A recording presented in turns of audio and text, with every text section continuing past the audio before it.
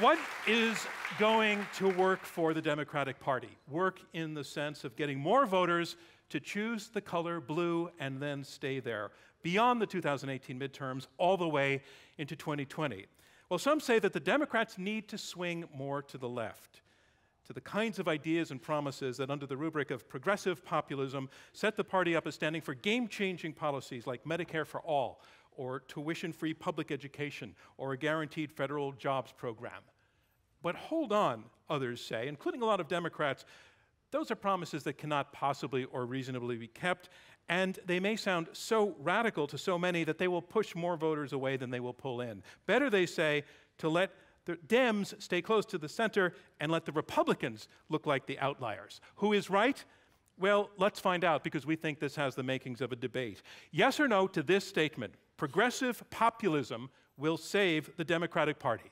I'm John Donvan, and I stand between two teams of two thinkers on this topic who will argue for and against that resolution. As always, our debate will go in three rounds, and then our live audience here at the Kaye Playhouse at Hunter College in New York City will vote to choose the winner. And if all goes well, civil discourse will also win. Our resolution is progressive populism will save the Democratic Party. We have one team arguing for that resolution. Let's meet them, starting with first, ladies and gentlemen, welcome again, Karine Jean Pierre.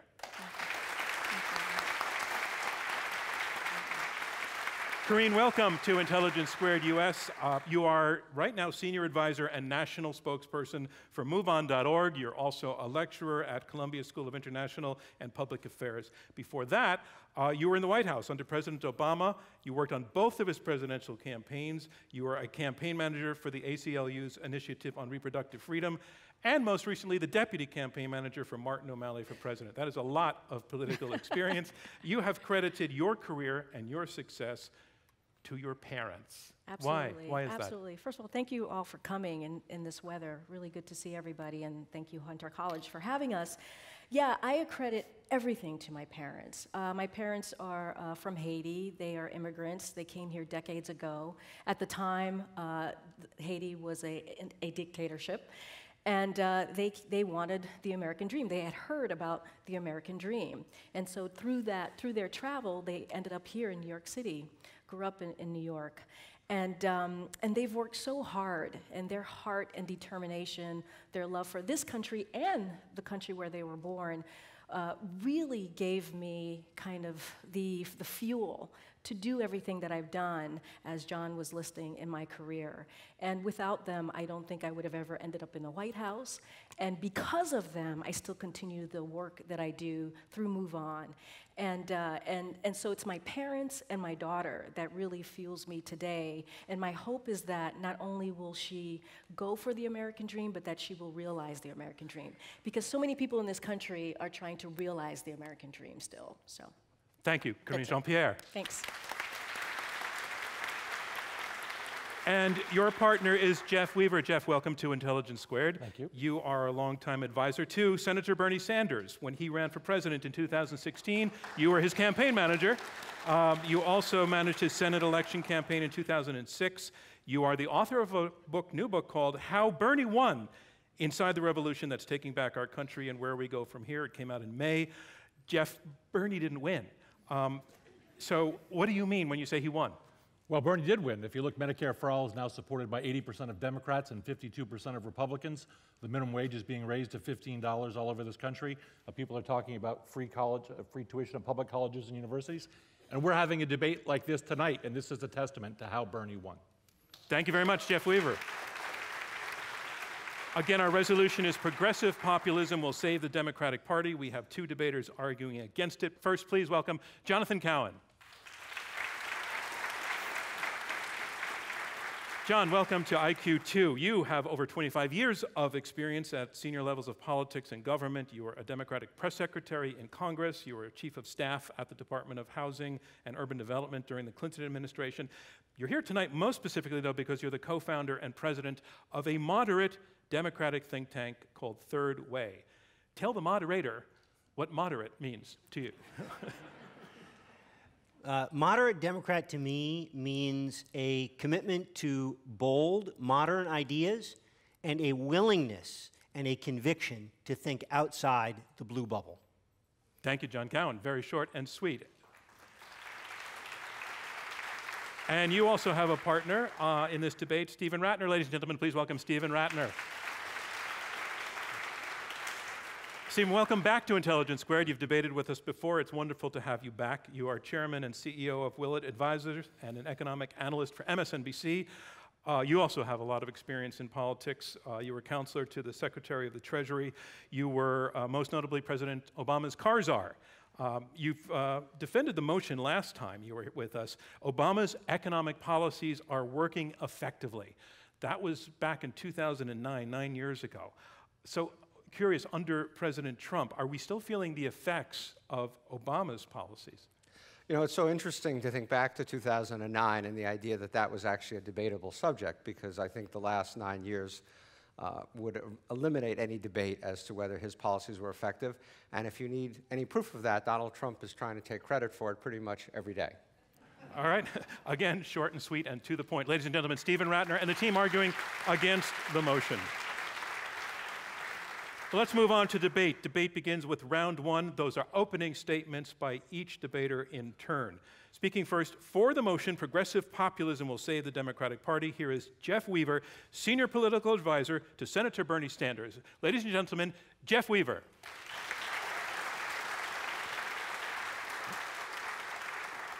I want to thank you all for coming out. This is a very important question at this very uh, difficult time in our nation's uh, political history. Uh, every day we are reminded that in many ways our country is on the edge of a knife, and we can slide either way. I think all of us recognize the great harm that Trump is doing in this country, the type of hateful rhetoric he's injecting into our country, and the way he is changing the mindset of so many people in this country toward a more divisive uh, and destructive uh, mentality. Uh, and it's our job, and I, you'll hear some allusions from me later in my comments about the 1930s in America, but in many ways, we are confronting something that our allies confronted in Western Europe in the 1930s uh, in Europe. And they failed in their attempt to strike down sort of ultra-nationalism uh, and xenophobia and racism, and we cannot afford to fail. There's no one to come, there's no greater, greatest generation somewhere else to come here and protect us. What does that mean? That means we have got to galvanize uh, the, the, American people, the grassroots of the American people. We've got to unify the American people uh, and create a country that, as Bernie says, that uh, in a government and an economy that works for uh, everyone. And I think as we go through this tonight, we talk a little bit about the history of the Democratic Party and where we are today. Um, I think you will see that not only is the sort of neoliberal corporatist view incapable of confronting and defeating Trump, but in many ways is responsible for its rise in this country. Uh, our great party, the Democratic Party, the modern Democratic Party, was born in the crucible of the New Deal. Uh, FDR uh, came into power at a time of great economic calamity, as all of you know. It was a worldwide uh, depression, uh, and against great opposition from Republicans, from business interests, and frankly, from many inside the Democratic Party. Uh, put together a coalition, uh, created Social Security, created workers' rights, created a lot of investments uh, in this country that we still see today, the TVA and other things, um, that created dominance by Democratic politics in this country for decades. This coalition this grand uh, New Deal coalition. And our job in this country is to rebuild that grand uh, New Deal coalition. This cannot be a party of only upper middle income people, of only well to do suburbanites. This has got to be a party that represents also working class people and marginalized communities. And what those people understand is that we have big problems in this country and we need bold solutions. And the solutions that are being offered by people in the sort of progressive populist camp are not unrealistic or undoable if we have the political will in this country. We live in the richest country in the history of the world. All of our Western democratic allies have universal health care. We do not. We used to have free tuition at public colleges and universities in this country. That's not a new thing. That's kind of an old thing. We used to have that, and we have lost it. Uh, the value of the minimum wage has degraded over time.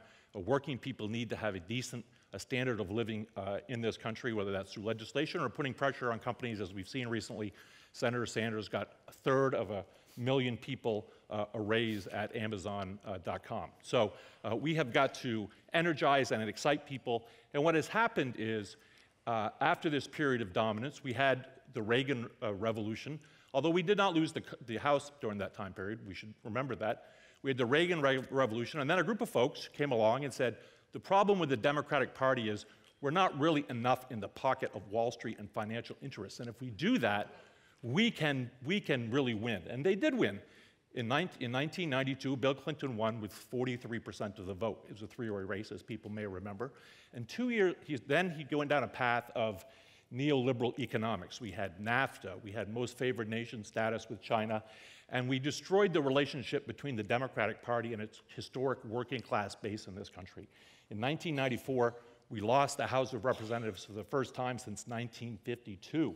Uh, seeing that kind of loss and the disconnection between working class people and the party, they turned to a very ugly set of policies. DOMA, to attack the LGBT community, welfare reform, which was a pared down version of Reagan's welfare queen uh, uh, program, uh, the crime bill, which created mass incarceration in this country. we forget that Bill Clinton and Joe Biden are the fathers of mass incarceration in America. And since then, uh, we have been trying to find our way.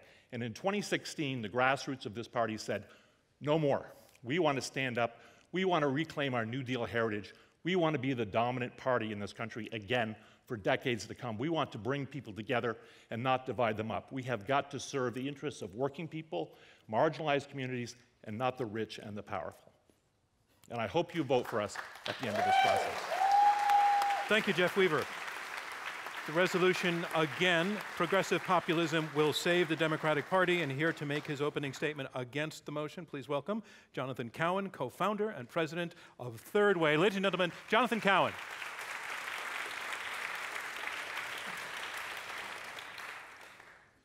The question before us is this If Democrats run on the ideas of the progressive populace, will that save the Democratic Party? Will these ideas win elections everywhere so that we can defeat Trump in 2020? The answer is no. Let's start with what we, all of us on this stage, have in common. We are all excited about the new generation of candidates hailing from all ideological wings. Young people, women, and people of color are adding dynamism and diversity to the Democratic Party. But where we disagree is over the ideas these candidates should be carrying. The evidence is overwhelming that populist ideas will not help Democrats regain the White House or majorities. They might look good on a bumper sticker, but when voters hear about the details, support crumbles. Take their centerpiece idea, Medicare for All. It has been tested and it has failed. In 2016, the purple state of Colorado had a Medicare for All style initiative on the ballot. It was decimated. 79% voted no. It lost in liberal Boulder. In deep blue Vermont, the state passed single payer in 2011 and gave up on it just three years later because the costs and tax increases were simply too high. Now, I admit that during these midterm general elections, there have been lots of Medicare for All ads on the air. But here's the rub they're not being aired by Democrats, they're being aired by Republicans as attack ads on Democrats. The GOP knows that if they can label every Democrat as a backer of Medicare for All, as well as other far left ideas like abolishing ICE, they can retain the House. So, yes, their signature ideas are politically potent for Republicans. Progressive populist ideas are not going to elect Democrats and save us from Trump, and Democratic voters agree. Bernie Sanders and his allies proclaimed that this would be their year. And to prove it, they backed a lot of Democratic primary candidates carrying his agenda. Well, the primaries are over. And how did they do? 23 million people just voted in the Democratic primaries. They were our most energized and committed voters, turning out in historic numbers to put a check on Trump.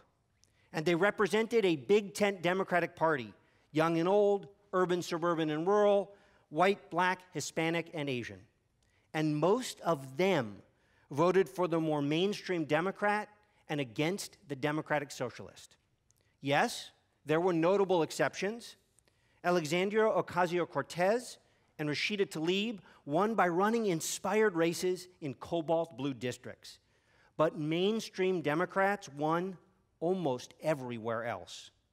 In the House, non incumbent candidates aligned with the moderate New Democrats won 32 of their 37 primaries, a stunning 86% win rate. Meanwhile, our revolution, the group formed by supporters of Bernie Sanders, had a dismal 39% win rate. So, if running on a Sanders style platform is the way for Democrats to regain power, someone had better tell the 23 million Democratic primary voters who felt otherwise. And if candidates carrying these ideas can't win primaries, that agenda clearly has no chance of delivering victories in a general election. In June of 2017, Bernie Sanders published an op ed titled, quote, How Democrats Can Stop Losing Elections. In it, he proclaimed that his ideas were the key to victory. But on the very day it was published, Democratic primary voters in Virginia had to choose between Ralph Northam and Tom Perriello as their gubernatorial nominee. Perriello, a talented former congressman, proudly embraced a populist agenda and even featured Bernie in his ads. Northam ran as a proud moderate. So it was a great field experiment for tonight's debate motion. If progressive populist ideas are the way to win, then especially in a Democratic primary, it must be that the populist Perriello won handily. The reality? Northam crushed him by 12 points and went on to easily win the general election. That Virginia win by a moderate kicked off the primary season. Andrew Cuomo's resounding victory over Cynthia Nixon marked the last. With a handful of exceptions, primaries in the 48 states in between delivered similar results. Democrats chose moderate nominees who fit their districts and states and were best positioned to win in a general election. So remember, if you vote for this motion, you're not saying that democratic socialist ideas and the candidates carrying them can win in Queens. You're saying that these populist ideas can win and save the Democratic Party everywhere. 23 million Democratic primary voters just weighed in on this question. And if they were here tonight, most of them would once again vote no on this proposition. I hope you'll do the same. Thank you, Jonathan Cowan. You've heard the first two opening statements, and now on to the third, debating for the resolution Progressive Populism Will Save the Democratic Party. Here is Karine Jean Pierre, Senior Advisor and National Spokesperson for MoveOn.org. Ladies and gentlemen, Karine Jean Pierre.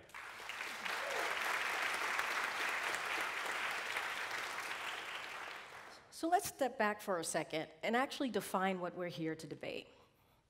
First, populism. Populism is defined in the dictionary as support for the concerns of ordinary people. And I would say everybody here on stage probably agrees with that. Now let's go down a little deeper and really get into the discussion. Populism is not about right versus left, but it's about top versus bottom. P- populism actually offers up solutions. How? Well, one of the solutions that it offers up is how do we fight against a society that benefits the privilege, the elites? Now, there are many forms of populism. Donald Trump has his form of populism rhetoric, but his populism is right wing, white nationalist populism. He chooses to divide the country using race, religion, immigration status, and gender. Progressive populism unifies and brings us all together. The late Senator Paul Wellstone used to say, when we all do better, we all do better when we all do better. Now, economics is key. It's a key tenet of progressive populism, but it's not the only thing. We also have to talk about the systems, the power of systems that are created to help, to benefit the privileged and the elites. And I'm talking about white supremacy. I'm talking about patriarchy, Islamophobia, and also he- heterosexism, which is what, which, what pro- progressive populism does. It fights against that, it says no to that. So we also need, we need inclusive populism and also multiracial populism. Now, many of our opponents would say what we're talking about is identity politics, and identity politics divides people. But then I would say, how are we supposed to get justice if we don't know the reality of, our identities? How do we not define who's at the top and who's at the bottom? How do we move forward?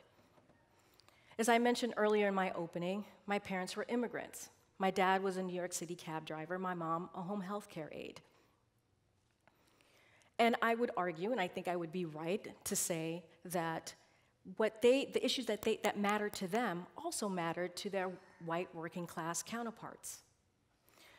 But look, I'm not here to define really, that's not the role that I'm supposed to do, but I wanted to give you a sense of populism and progressive populism, what that means. I'm supposed to give you an argument as to why progressive populism is the future of the Democratic Party.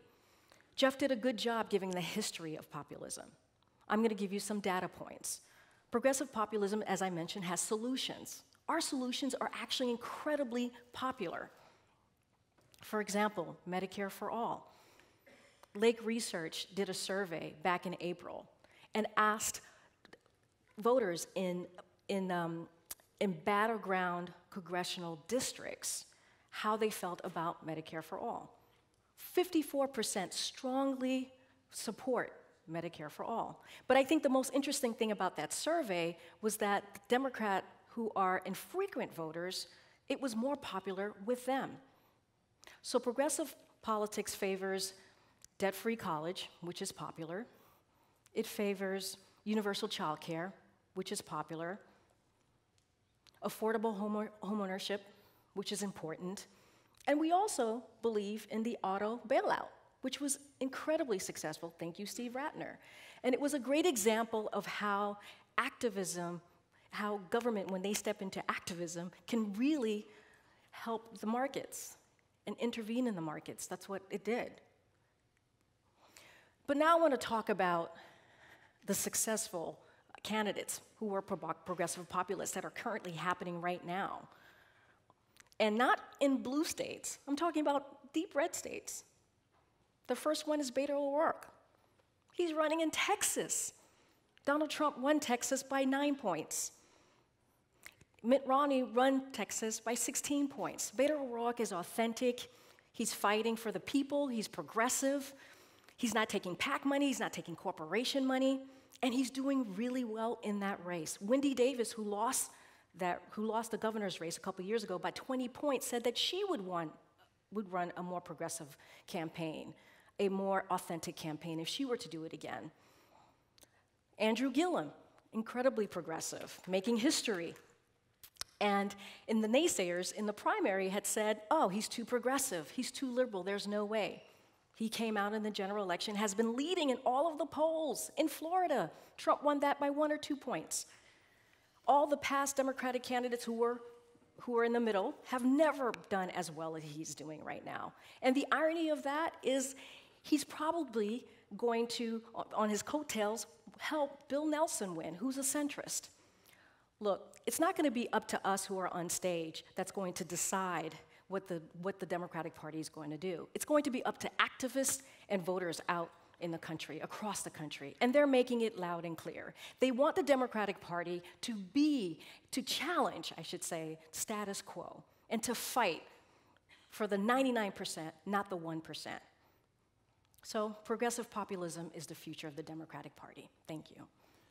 Thank you, Karine Jean Pierre. And that is the resolution. Progressive populism will save the Democratic Party. And here to make his statement against the motion, please welcome Steven Rattner, Chairman and CEO of Willett Advisors and former counselor to the Secretary of the Treasury. Ladies and gentlemen, Steven Rattner.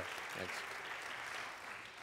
Uh, let me start by echoing what John said. I'm a Democrat, and I consider myself a progressive, and I consider myself as a fighter for the 99% as I think it should be defined. I believe that our tax system excessively favors the rich. I believe that income inequality in our country is at reprehensible levels and must be addressed. I believe that the federal government should lean in and try to solve the pressing problems of those who have been left behind. I believe that America has an important role to play in the world, including by imparting our values of democracy and human rights.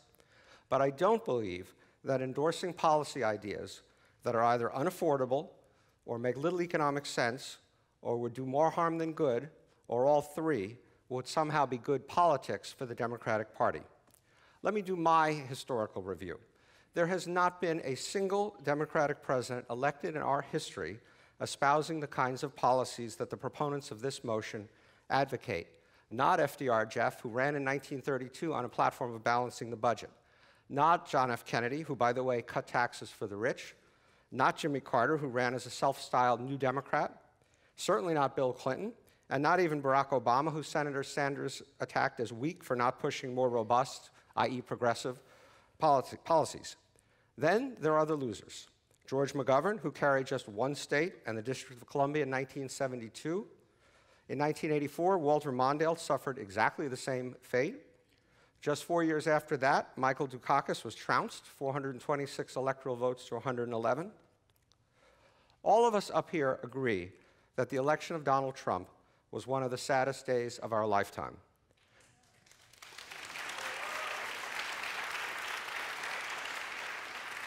And with, an, and with an approval rating hovering around 43%, there's no way he should be reelected. But if we want to make the unimaginable imaginable, just nominate someone out of touch with the mainstream of this country. We can talk all we want about energizing the base, but remember that only 33% of Americans are even Democrats at all. It's also worth noting that the share of independents at 37% is the highest in 27 years. Last I looked, you needed around 50% to win.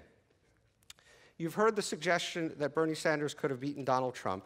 We'll never know, but we do know a few things. For starters, it has historically always been very difficult and rare for someone of the same party as a two term incumbent to win the presidency. After after eight years, voters generally want to change, as they did in 2008 and again in 2016. We won't have that impediment in 2020 but we will have a more important problem that hurt Mrs. Clinton the fact that Democratic voters are increasingly concentrated geographically, particularly in big blue states like New York and California. That's a large part of why Mrs. Clinton lost, even though she got 3 million more votes than Donald Trump. So to win, we must reach out to more moderate voters in Pennsylvania, in Michigan, and in Wisconsin, three states that we never should have lost. Lastly, you've heard turnout blamed for Senator, Secretary Clinton's loss, but at 60.1%, turnout was higher in 2016 than it was for Barack Obama's reelection in 2012. Now let's turn to policy. John made a compelling case for why Medicare for All is bad politics. The same would inevitably be true of some of the other ideas that Senator Sanders and his sympathizers have put, put forth once the electorate understood the implications. Guarantee a $15 an hour income to all that would cost on the order of $680 billion annually. How about providing a $12,000 a year basic income to every American?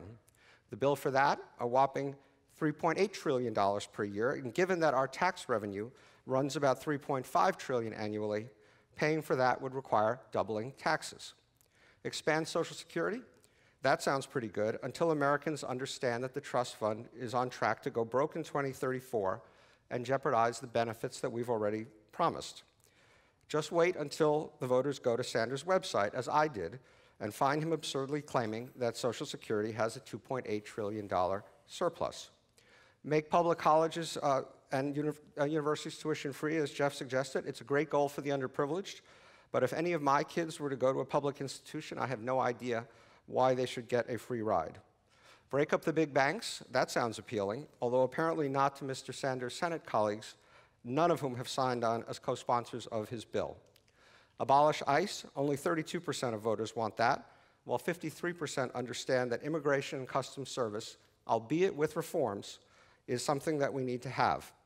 Even among Democrats, only 44% want to abolish ICE. As I close, I want to em- reemphasize the extent to which I share the goals of the populace. I share everything that has been said uh, before me as a goal. but we should address the critical issues facing our nation by putting forward responsible, prudent policies that will attract the coalition of voters that we need to keep Donald Trump from another four years of destroying America. Thank you.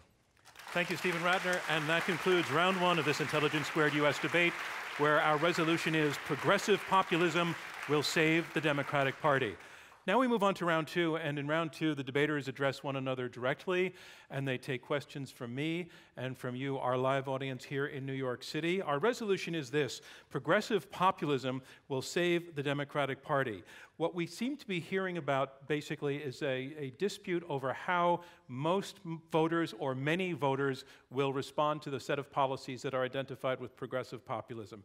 The team arguing for the resolution, Karine Jean Pierre and Jeff Weaver, are arguing that in fact these ideas would be very popular, they would be vote getters. They describe in this country a sense of emergency in the light of things like xenophobia and ultranationalism and racism that requires the Democratic Party to go back, they say, to its New Deal roots, to the kind of emergency that preceded the New Deal, a time when bold solutions were required and bold solutions were put into place. They also describe a tension between top and bottom. And in that framework, they say these are solutions that appeal to the bottom. Ideas like Medicaid for all, free college, uh, free public college tuition, abolishing ICE, housing as a human right. Their bottom line is that these things are needed, these things will be popular, these things are what the party should and will stand, will stand for, and will also get votes. The team arguing against the resolution, Jonathan Cowan and Steven Rattner, they identify themselves as progressives, but they say the problem with their opponents' ideas is a thing that I think I could describe as political reality. They say that these ideas just are unsustainable, they can't be carried through, that the public sniffs that out, that these ideas will scare the public, they look great on a bumper sticker, but in reality, voters will not go for them. That they, they cite instance after instance where given the opportunity to either vote for these things they voted against, or when put in place, they ultimately failed. They say these ideas will, in fact, help the Republicans the more that they can be identified with the Democratic Party. Um, so I, I, think that that gives us an, an, overall sense of what the issues are here. And I want to take a question to you, Jeff Weaver, from something that your opponent said in that the, the Democrats need to have moderates come into the tent. And the, what occurred to me is it almost sounded as though they were saying that you and Karine are arguing for appealing to the Democratic base, and that the moderates, not that they don't matter, but that, they're, that you, you, just can't get them. I want to see if I, if I understand that correctly. Yeah, well, that is not what we're saying. And, uh, uh, and it's interesting you want to, if you want to talk about elections, because we just had a presidential election, and so we have a lot of experience. We had a hard fought Democratic primary between Secretary Clinton and Bernie Sanders. Uh, and the evidence is pretty clear. I've seen a zillion polls in a zillion states, as you can probably imagine.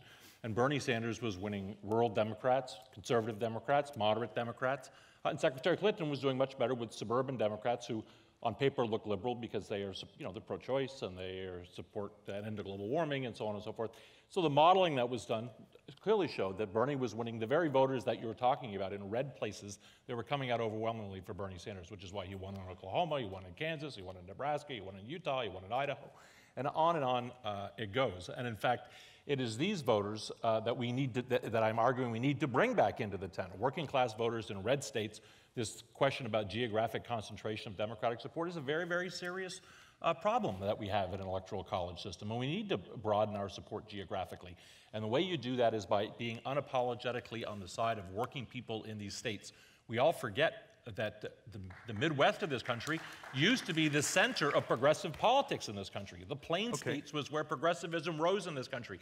And we have lost touch with those people because the truth of the matter is that there are many people in that wing of the party who really don't like those people very much. Okay, Jeff, let me, let me break into, let your opponents respond to some of what you said, because you said a lot. John Cowan, um, basically, Jeff is saying that the, those voters in the red states that you say would be driven away by these ideas would not be driven away.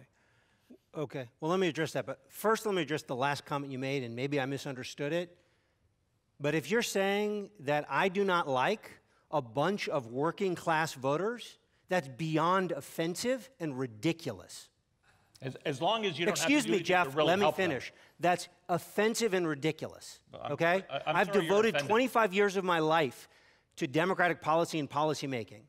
I was the chief of staff of the Department of Housing and Development and visited hundreds of public housing developments all over America. So that's offensive. The debate is not whether we feel or you feel more passionately about helping the struggling and working middle class of this country.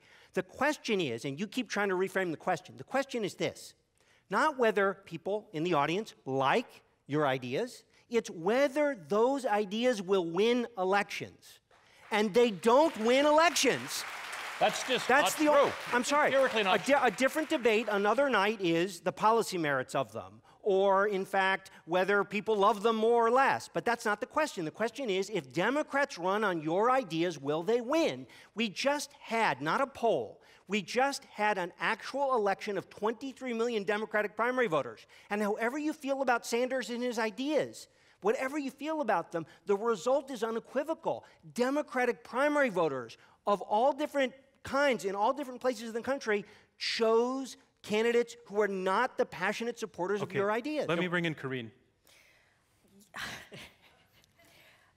Uh, just to be fair, John, you said liven it up and leap in. So I don't want it to look like I'm obnoxious. I'm Yes, just let's saying. not forget the election we had us- in Well, 2016 let, let me, let me your ideas Karine, before you speak, lost. before Yeah. you speak, uh, we, we, we like to keep this friendly.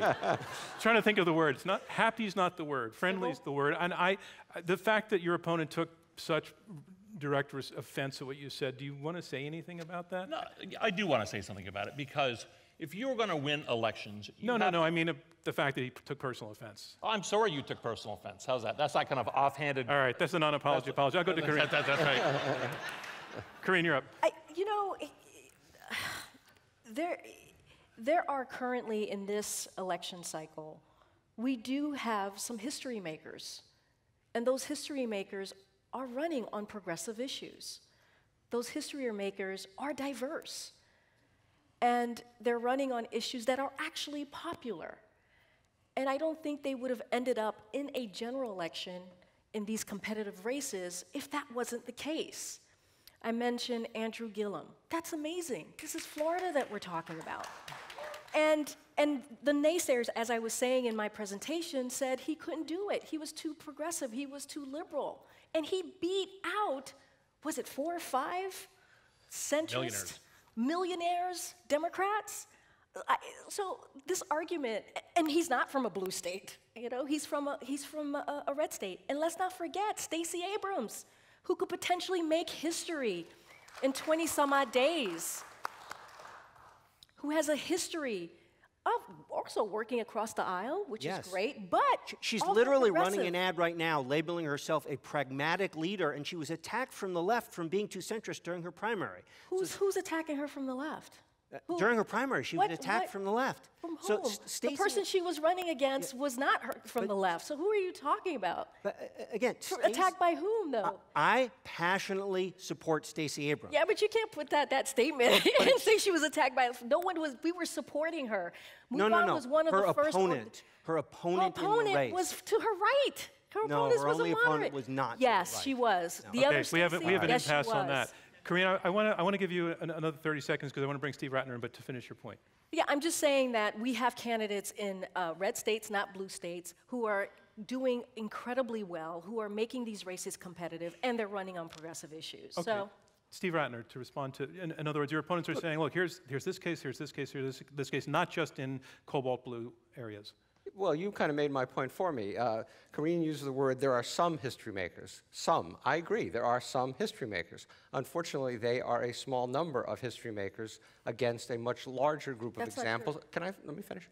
Uh, against a much larger group of examples that John just ran through of many cases, case after case after case during this primary season.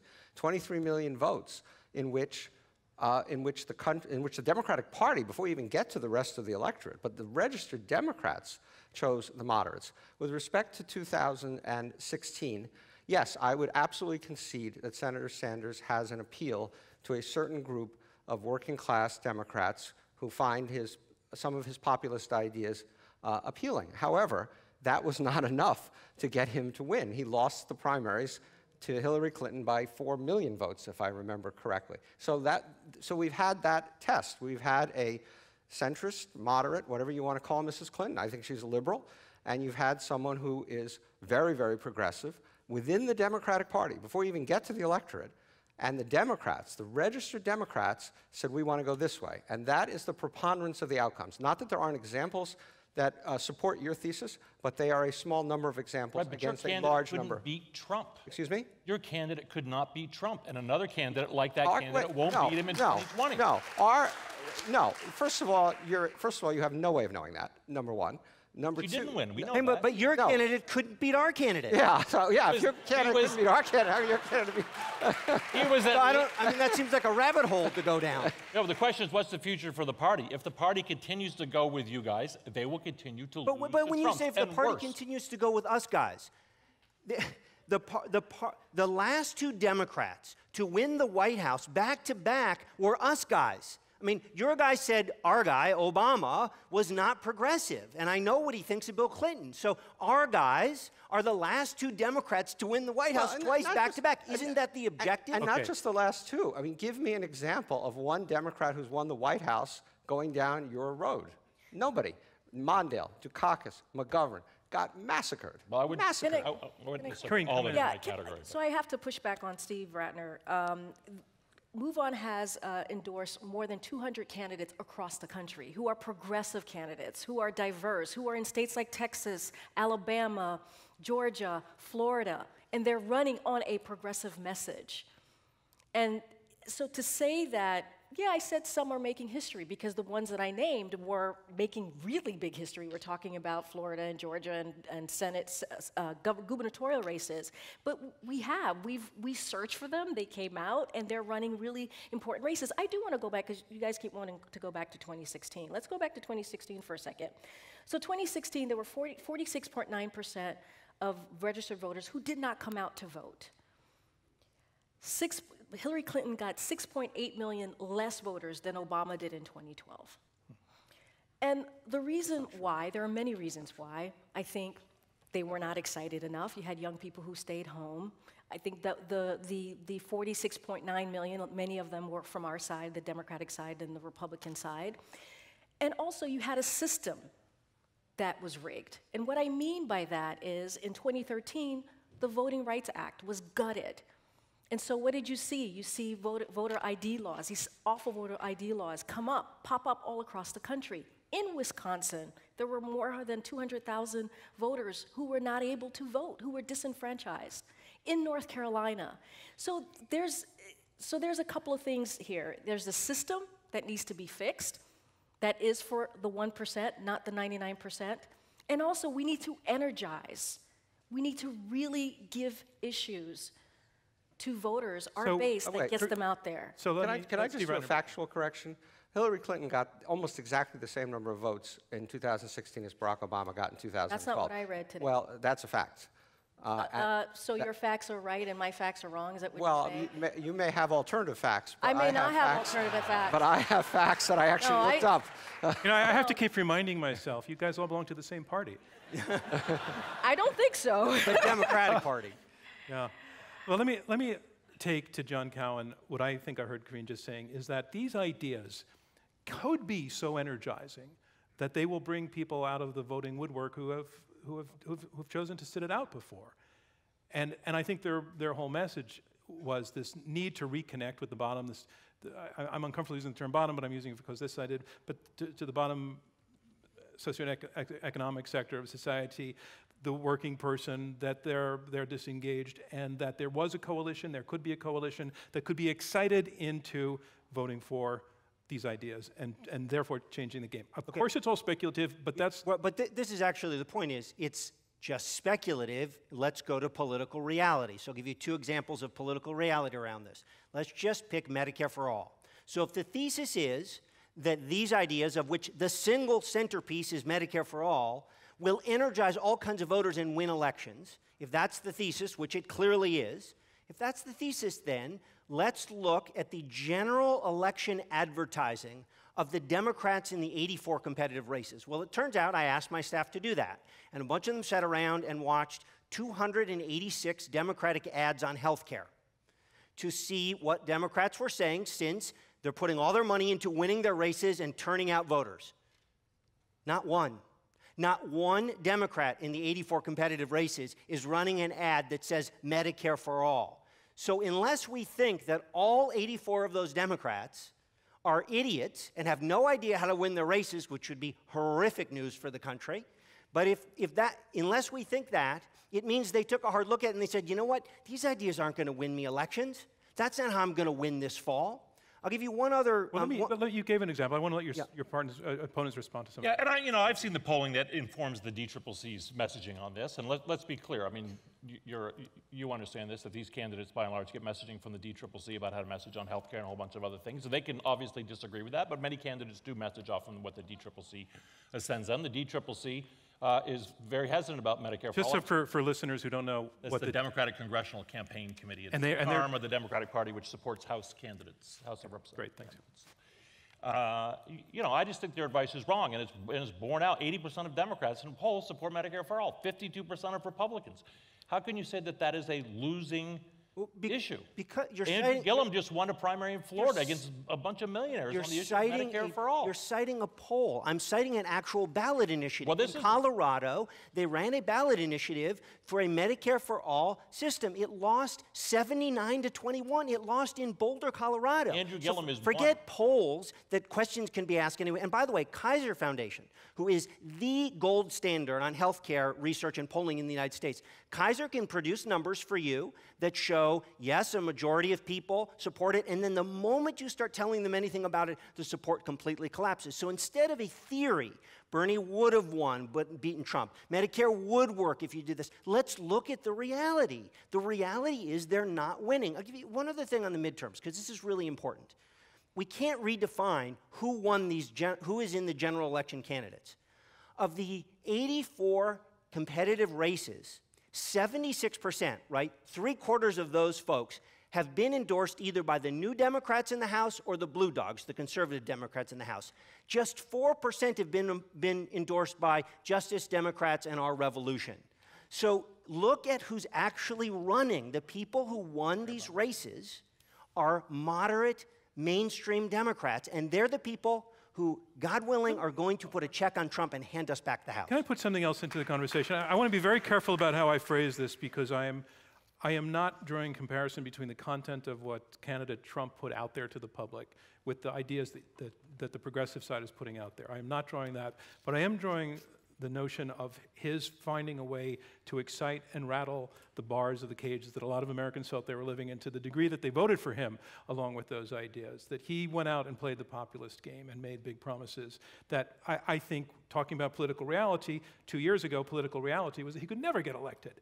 And yet, he pulled it off. So, what, what does that example show for, the, for, for your opponent's argument that big, sweeping, dangerous sounding ideas, in a positive way, given how they're framing it, they're framing it positively, could actually have this impact on the electorate and pull off the unpredictable, even though no sitting Democratic president ever ran on those ideas before. Steve Rattner. Look, look uh, first of all, I don't know that Trump had very many big ideas. He had a slogan, Make America Great Again. And, every, and, and it was actually quite brilliant, uh, even though he stole it from Ronald Reagan, in that. No, but he pushed buttons. He pushed, he pushed all kinds of Right, I'm- buttons I'm, that are. I'm getting Sure, to yeah. that point.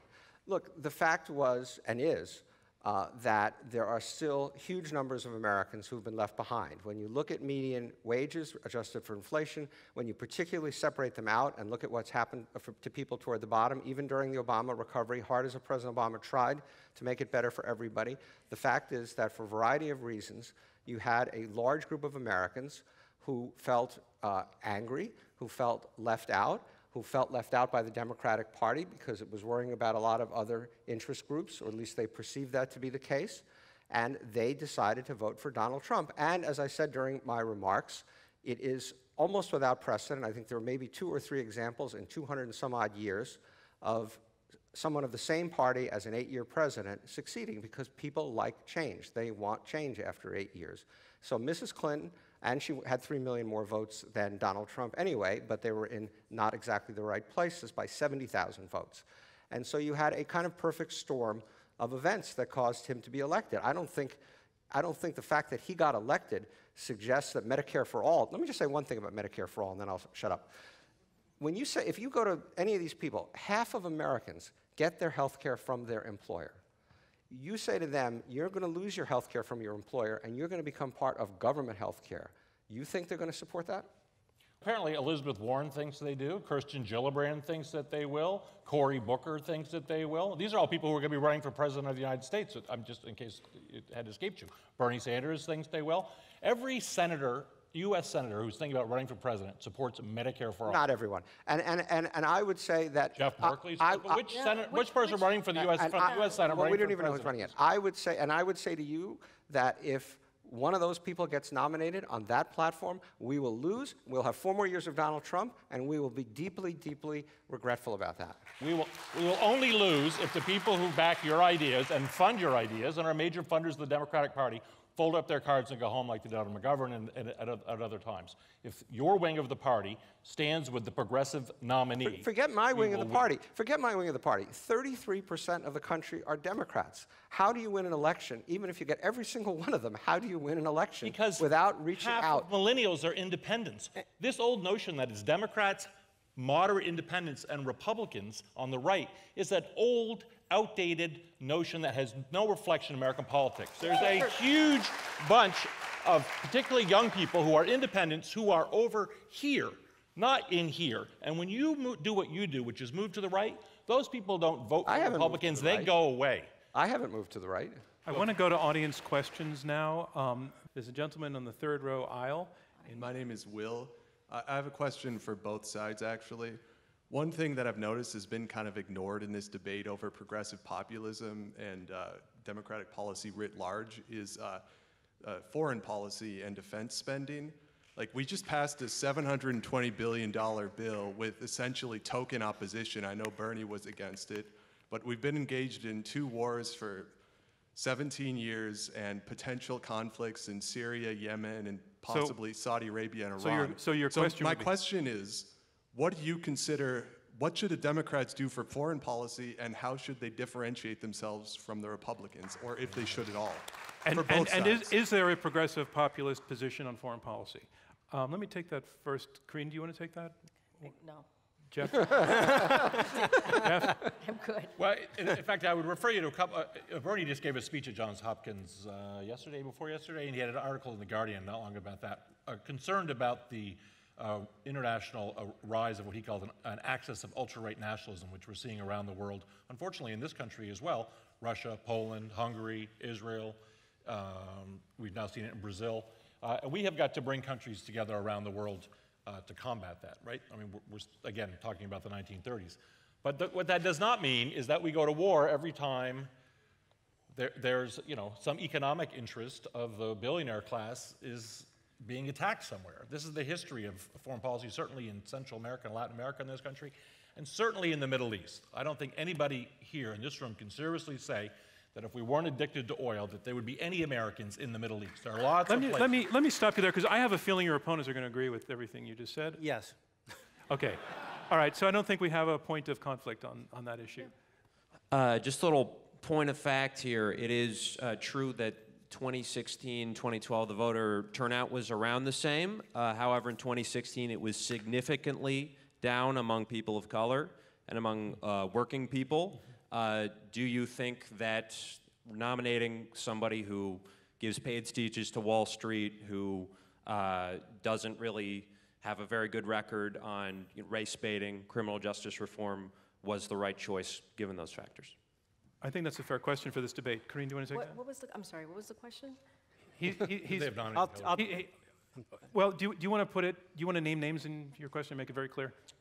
Hillary Clinton was a centrist and was uh, from the Wall Street wing of the party, and uh, her numbers suffered among, uh, the, overall they were around the same as Obama's, but they suffered among low-income people and people of color. And what you're really saying is, had there been a populist, maybe Bernie Sanders, instead of instead of um, Hillary Clinton, would we be with the President Trump today? I think that's your question. yes.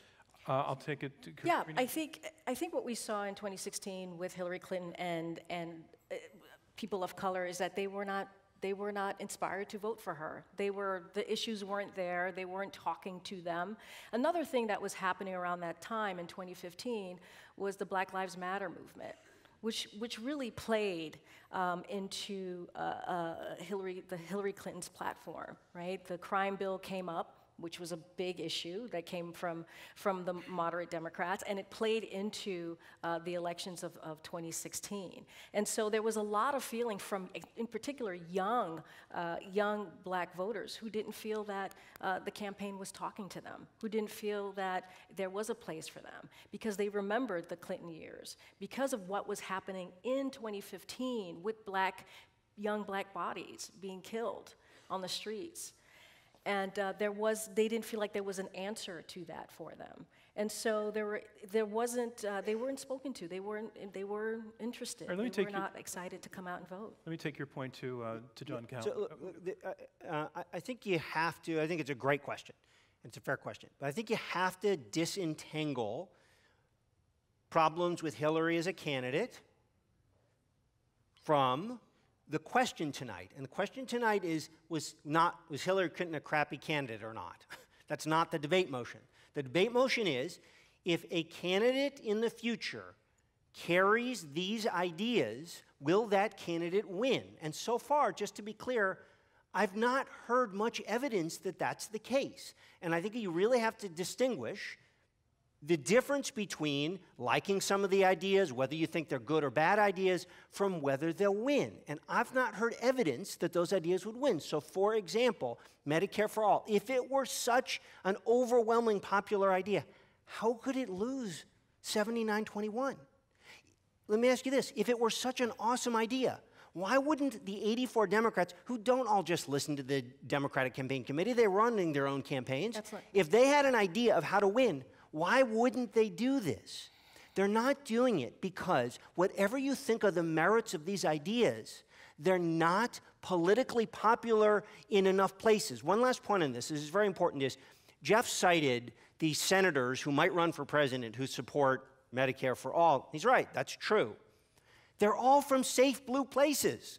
They're all from safe blue places. Our job as a party is not to figure out how to make blue places bluer. It's how to make red places blue and purple places blue. That's our job. Jeff, go ahead. Yeah, I would, I would say a couple of things. Uh, and you're right. You know, I think progressives in this party have not gotten. Um, you can stop it, you're right. That's okay. Progressives have not gotten a, a fair shot in this party in terms of funding and other things and, and, and an audience uh, over the last 20 years. But what we do know is that your point of view has destroyed the party. And so it cannot be But worse how do we know you- that? My- my because point of view your free, your free trade deals No, but- but wait minute. destroyed the relationship with, with working class Democrats. Your call for cutting Social Security is going to kill this party. You guys represent a certain group of interests. I get it, it's cool. Like, this is a big tent party, but you cannot be the dominant voice in this party because you have no credibility with working people. When you go out and talk to real people in whoa, the real world, whoa. Wait, wait a minute. No. We have no credibility with working people. So, just to be clear, because you and Bernie have said this many times, my people are Barack Obama and Bill Clinton. You've that's said that a million times. You said Barack Obama wasn't progressive. So, No, I- the I- two people who He's are our he didn't say people that. Were widely supported by working class people. Barack Obama built an amazing coalition. In fact, I think our challenge is to rebuild the Obama coalition, the centrist Obama coalition, just to be clear, because that's actually what we have to do. Let- So let me- I don't know what you mean I, by I want, I wait, want, wait, I want to add some. I want to. You make a point, then I want to add something to Yeah, what was just said. so, so there's, there are a couple of things here. The Obama coalition was people of color, young people as well, which was a big part of the Obama cam- coalition. They came out in record numbers. Obama would not have won in 2008 or 2012 without them. Trust me, I know. I worked on both campaigns. Wait, let me finish. Let me finish. So you took, you took offense when, I can't remember what Jeff said to you. But all, the- night, all night he's been taking. yeah, I, I, can't, I, can't, I can't remember. He said you But don't the- care about working class people. Okay, the moment that I bring up the crime bill, right, and I say, hey, that's something that you guys pushed forward. Now, oh, wait, we're talking about Hillary Clinton as a candidate. The crime bill hurt with black people. And the question was, why didn't black people come out, especially young black people? And it was Yeah, because wait, of I'm going to say one thing. Look, let me just say one thing. Barack Obama didn't support any of your policies virtually. He didn't support Medicare for all. He didn't support free college tuition for everybody. He Supports didn't Medicare for all now. he- He, he- support- he talking said about it. 20 that was, talking- that he- was he- 10 years ago. We're talking about 2008. Things have changed. Yes, but he got elected because he. And he took- supports it now. He, said it. got. el- I don't think he supports Medicare He, for no, all. he said it. I- he actually said Go it. to the Okay, internet, folks. let's Go to also the go internet. back. Let's- go to the internet. All right, all right, all right, Tim, and I want to throw something into this conversation that comes from an interesting direction. Uh, the other day, there was an op ed attacking Medicare for All. It was written by Donald Trump. Oh, gosh. Sure way. And he said, he said, quote, the truth is that the centrist Democratic Party is dead. And Joe Biden reacted to that. Uh, by the way, Biden has not confirmed whether he's running in 2020 or not, but he told a reporter for USA Today in London, tell Trump he should hang on.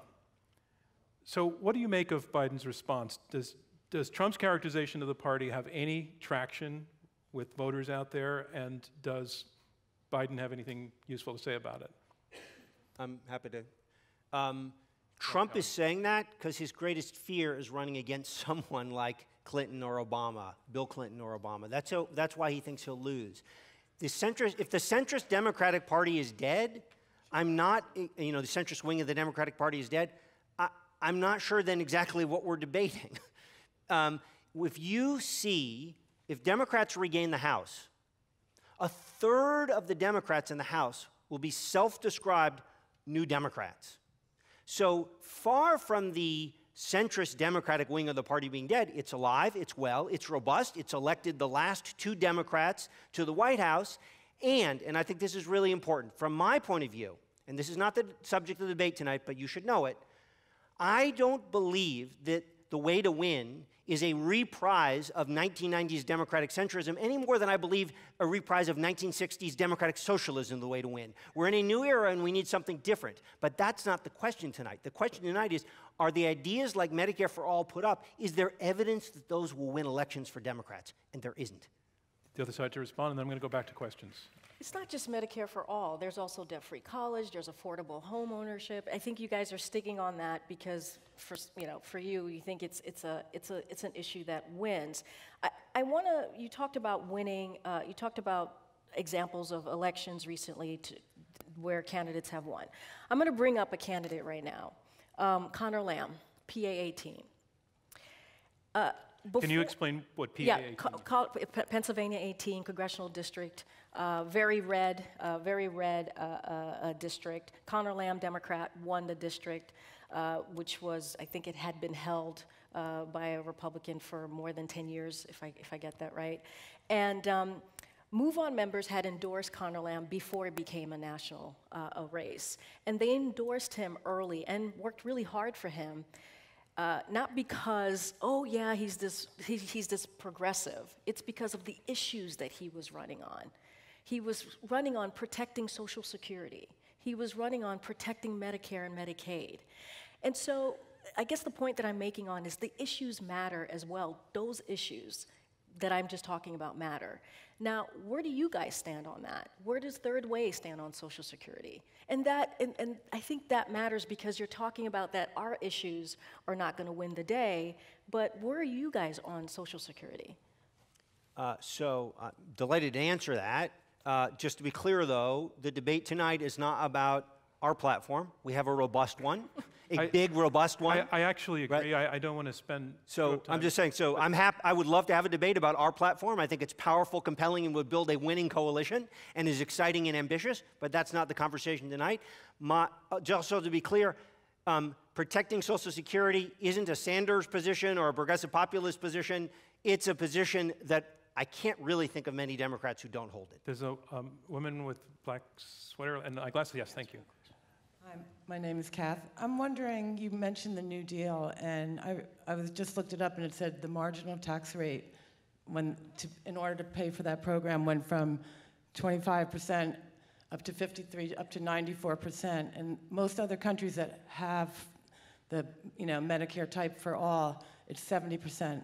How will you get like hard, normal working people to be willing to pay 70% increase in taxes in order to pay for others? And I assume your question is, is put something as a challenge to the foresight, correct? Yes. Okay, thanks. Yeah, well, there's a recent study out, and, and uh, again, on Medicare for All, let's also point out that over half of the Democratic members of the House of Representatives support Medicare for All. There's co-sponsored legislation in support of Medicare for All, so this is not a fringe idea, by the way.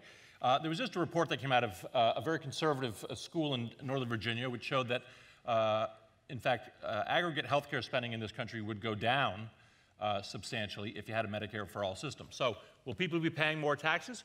Yes, they will be. There's no doubt about that. You can't get around that. Will they pay less in premiums? Yes, because they won't pay any premiums. They won't pay any co-payments. They won't pay any deductibles. We're going to finally be able to get our hands around the pharmaceutical industry who's Yep. ripping off uh, this country and charging us the highest prices in the world. So, in the aggregate, our country is going to save money. It's going to be good for business. Believe me, I have a small business with seven employees selling comic books like crazy in Northern Virginia. I would love to have Medicare for all, frankly. Um, and so, anyway, so, so yes, people will have to pay more for in, in, in the taxes, but they will pay less in other ways. And in the aggregate, people as a whole will pay less. Steve Rattner. Look, again, this is not a debate about policy, it's a debate about politics. And I would uh, remind, I would just say one more time that I do not believe if you go to half of Americans and say you're going to give up your employer based health insurance and come on a government plan, they would think that was a great idea. But to answer more specifically the question about. But Steve, you, you, you say it's about, not about policy, it's only about politics, but you made the argument in your opening that these programs can't work. So they're saying, yes, they can. So I, I think was fair to come back to you at that point. Well, that's a policy question. You want me to answer Yeah, it? well, yeah, yeah. Look, if you want to, if you want to completely turn our healthcare system inside out along the lines of what Jeff is saying, we could, we could talk about that as a policy matter.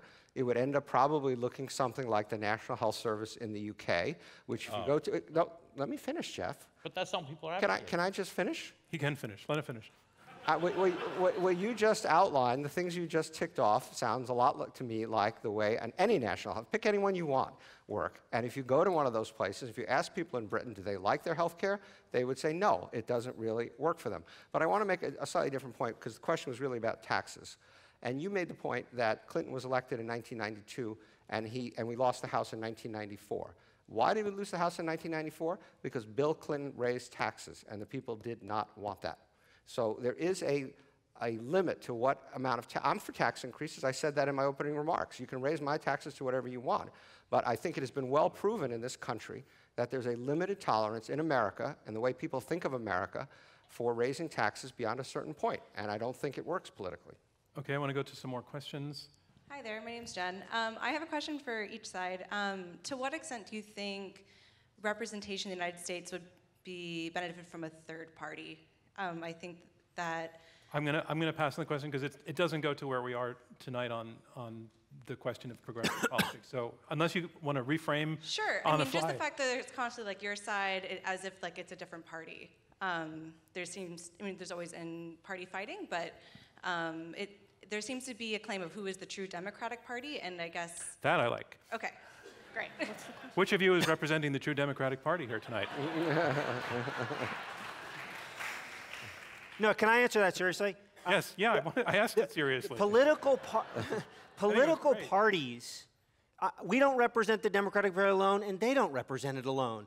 The, the, the- definition is, b- uh, of the thing you're supposed to do is build a winning coalition that does not just include your side or other people. There, so there's a wide range of views. The point is, if you want to get sustained, de- if you want to get the White House back, and large sustained Democratic majorities to do good things for the working and middle class of this country, you have to build a winning coalition.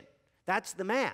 And you have to have ideas that will not impede you from building that coalition, but will help you build that coalition. Our argument is simple. Not that these, we're not debating every merit of the idea, but will they build a winning coalition? And when you look at it, they don't actually do that.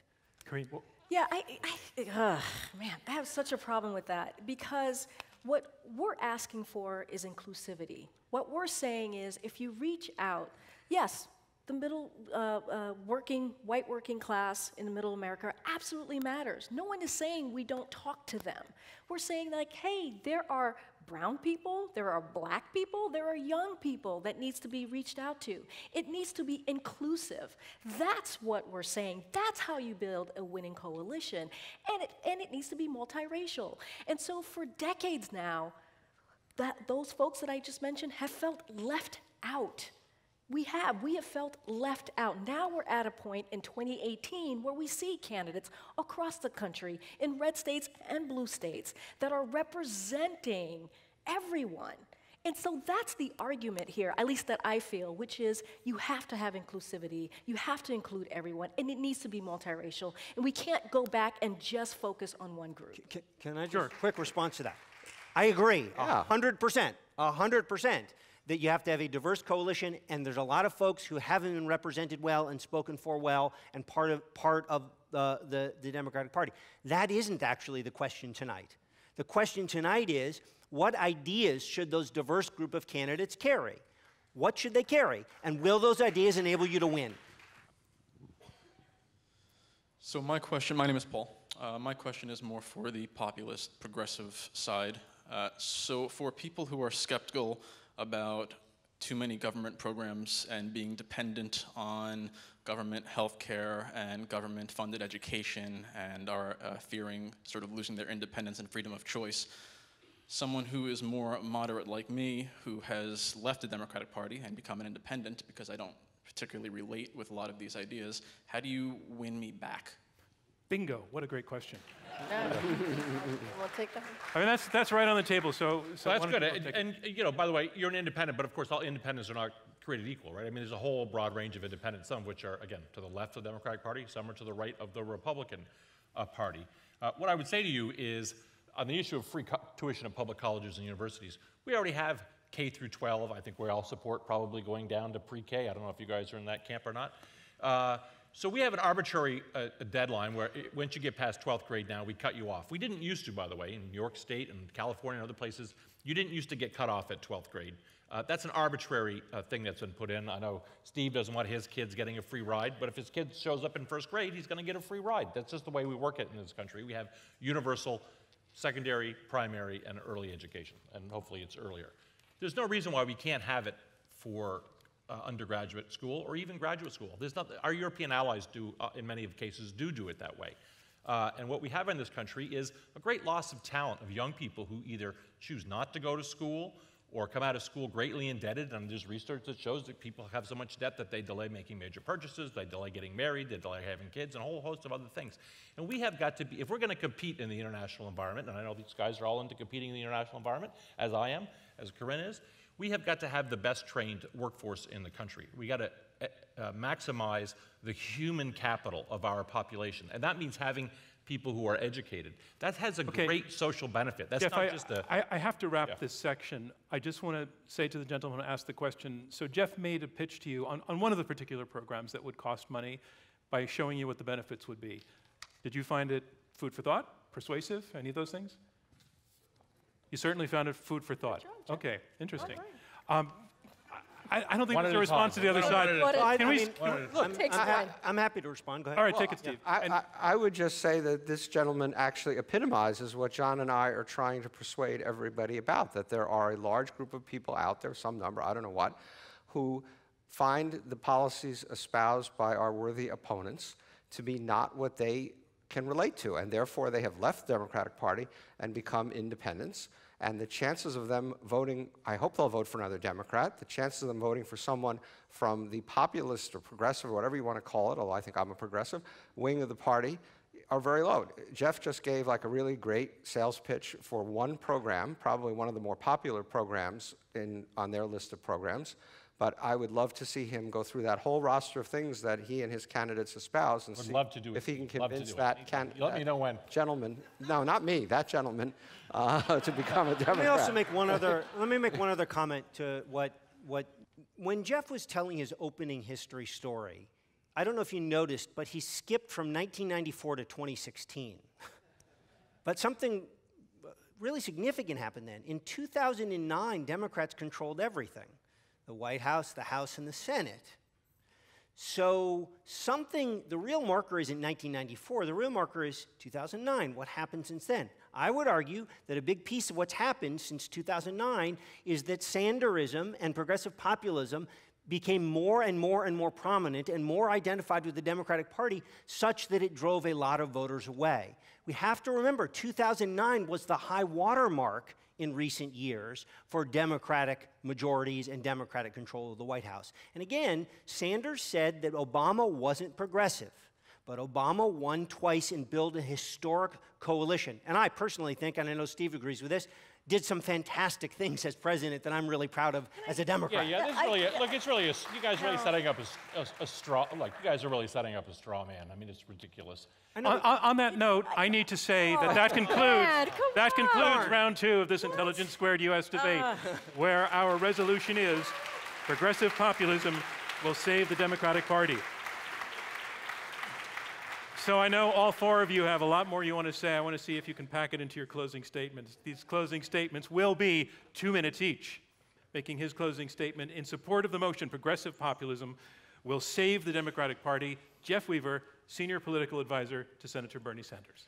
We, thank, thank you, thank you, thank you. Listen, we as Democrats have a challenge. We have got to build the coalition in this country that can beat back Trumpism. We cannot allow this country to go down that very dangerous road. Today, we're seeing young children locked in cages, torn from their mothers. That's only the beginning of what can happen in this country. And to do that, we have got to rally working people and marginalized people and young people, excite them and bring them into the political process.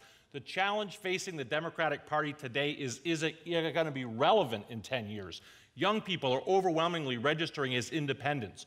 We have got to build the party of the future. We have to have bold vision. We have to have big plans to deal with big problems. These guys have had their shot. They have wrecked the party. They have destroyed the coalition that undergirded the Democratic Party for decades, and we can't let them have it back. Thank you. Thank you, Jeff Weaver. The resolution again progressive populism will save the Democratic Party. Here to make his closing statement against the motion, one more time, Jonathan Cowan, co founder and president of Third Way. Why was it so important for me to be here tonight, and why am I so passionate? On the morning of November 9th, 2016, my twin 10 year old daughters woke at 7 a.m., and in their bright, innocent voices, they asked, Is Hillary president now? That look, the shock on their face when I said no, Donald Trump won. I don't ever want to see that again. That's why I'm here tonight. And that's why all of you are. The question is are progressive populist ideas the way to stop Trump and his allies? The answer is no. And two House races this year tell the tale in microcosm. In Omaha, Nebraska, Kara Eastman, a Bernie style populist, is trying to win back a swing congressional seat Democrats held as recently as 2014. That district is so even that the last three elections were decided by three points or less. Perfect conditions for a blue wave environment.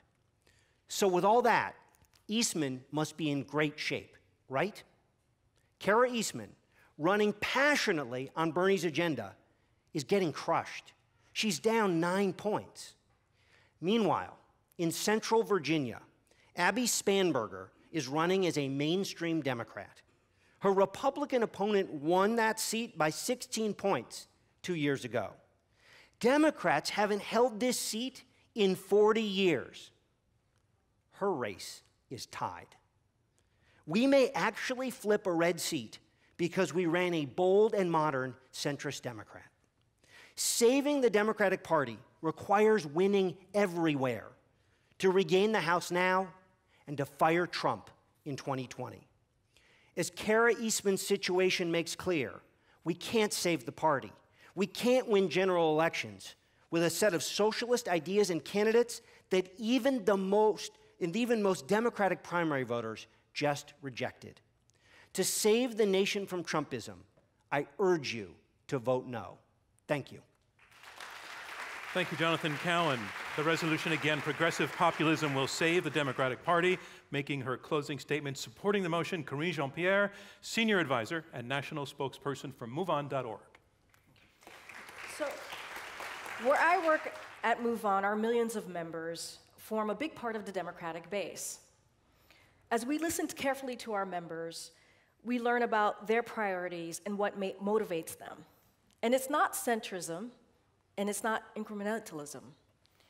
It's a bold progressive vision for our future. Let me tell you about Chuck T.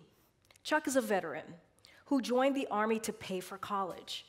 In the Army, he fell in love with being part of something bigger than himself. Now, one of our Move On volunteer leaders, Chuck says progressive policies reflect the core Army values instilled in him through a decade of service, that he sees championing progressive policies as his second service to this country. Or think of Carmen V, a Move On member who says centrist Democrats have never inspired her to do more than vote.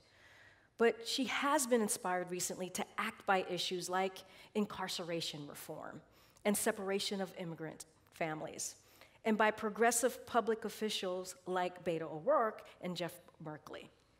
She is now simultaneously volunteering not just for Move On, but for several progressive candidates. If the Democratic Party will be saved, it will be saved by volunteers and activists like Carmen and Chuck. And what they themselves tell us is that progressive ideas inspire them. Activists like Carmen and Chuck will save the Democratic Party. And majority of voters who strongly agree with Carmen and Chuck will save the Democratic Party. I think it's already evident to probably most of us in this room that progressive populism is the direction of the Democratic Party. Therefore, I hope you vote today for progressive populism to save the Democratic Party. Thank you, Karine Jean-Pierre. And that is the resolution. And here to make his statement against it, here is Steven Rattner, Chairman and CEO of Willett Advisors and former counselor to the Secretary of the Treasury. Uh, look, this has been a, a, great discussion. We've heard lots of valid statistics, maybe some that aren't quite as valid, but lots of very good arguments. and I do want to genuinely commend our opponents for their passion and their commitment to the democratic cause. I'd also like to close on a, with a more subjective personal observation. It may surprise some of you, but even as a business person, I live in a world that is dominated by centrists, moderate Democrats, independents, and moderate Republicans.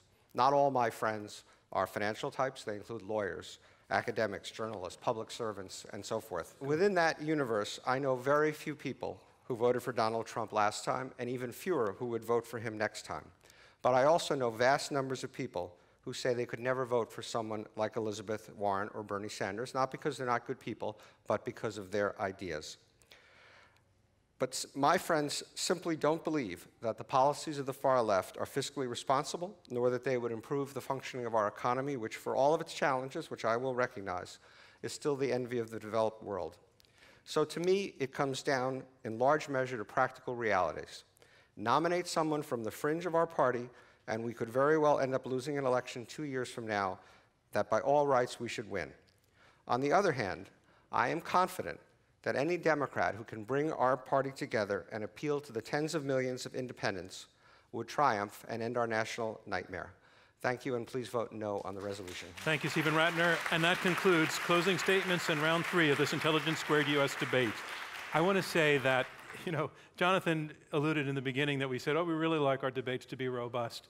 Uh, the four of you delivered really well on the robust, and at the same time, I think that with maybe a one hiccup along the way, there was great respect shown for each other. Uh, you really, uh, I, I, think in the end, at some level, you might actually all be on the same side. Um, but you made the disagreements among you meaningful and fruitful and illuminating for all of us. So I just want to thank the four of you for bringing one of the best debates we've ever had. And now it's time to learn which side you feel has argued the best. We want to ask you a second time to go to your cell phones and vote again. While we're waiting for the results, I just want to put um, a question to, to everybody. Um, this is not competitive at this point. Um, just, and, and maybe you don't have a ready answer, but that would be an answer in itself. Curious to think who you should be leading the party in 2020. oh. Oh. Steve Rattner. You're the only one who didn't groan. Look, I, I, think some of the people that one could think about, and I'd be happy with any of these kinds of folks, would be Steve Bullock, the governor of Montana, Michael Bennet, senator from Colorado, Mitch Landrieu, who just stepped down as mayor of New Orleans. I think that's the zone I would be in. Anybody else want to venture a name? No. I will give you a pass if you want to say no. I'm not going to touch you with a 12 foot. Everybody else the same? Well, the last three words of my book, in all fairness, are run, Bernie, run. So that makes it easy. all right. All right. It's all in now. I have the final results. Remember, on this resolution, progressive populism will save the Democratic Party. It's the difference between the first and the second vote that determines our winner. Here's how it went. In the first vote, progressive populism will save the Democratic Party. Before the debate, 33% of you agreed with that statement, 40% disagreed, and 27% were undecided. Those are the first results. In the second result, the team arguing for the motion, progressive populism will save the Democratic Party. Their, first, their vote went from 33% down to 22%. They lost 11 percentage points. Let's see, the team against the motion, their first vote was 40%. Their second vote was 74%.